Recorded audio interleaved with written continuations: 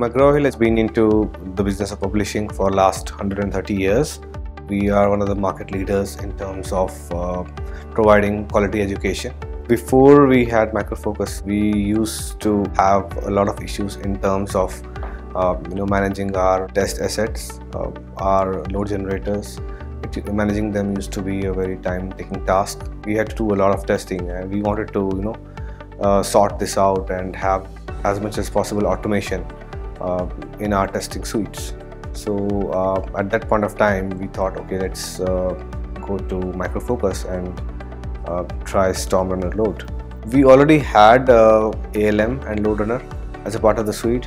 What we actually did is just try it out and you know try to move some of the scripts from ALM to StormRunner and see how it behaved. And ultimately, we moved some of our bigger test suites, which had like 25 to 30,000 concurrent users into uh, Micro Focus StormRunner and uh, it worked well for us.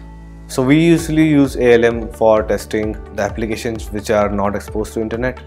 For multiple applications, uh, we have API based applications, we have UI based applications, uh, and most of them are online applications, online transaction processing applications, and uh, some of our apps are actually exposed to a load of 25 to 30,000 concurrent users when at peak. That's kind of a scale we have. And we have tested up to 50,000 concurrent users as well as part of our testing using Storm Stormrunner load and uh, we were able to do it successfully.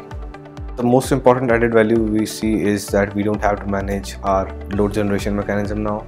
So all we need to do is just create the scripts, upload them on uh, Stormrunner load and we are good to go.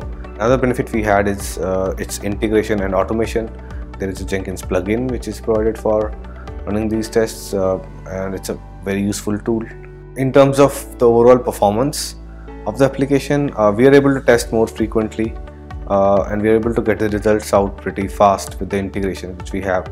It's a benefit of uh, figuring out the performance issues earlier in the cycle that gives uh, more lead time to developers that gives more lead time to the testers also to test the defects so I think the one one thing which uh, really stood out uh, with this uh, with the StormRunner was that uh, we were able to successfully scale our performance tests.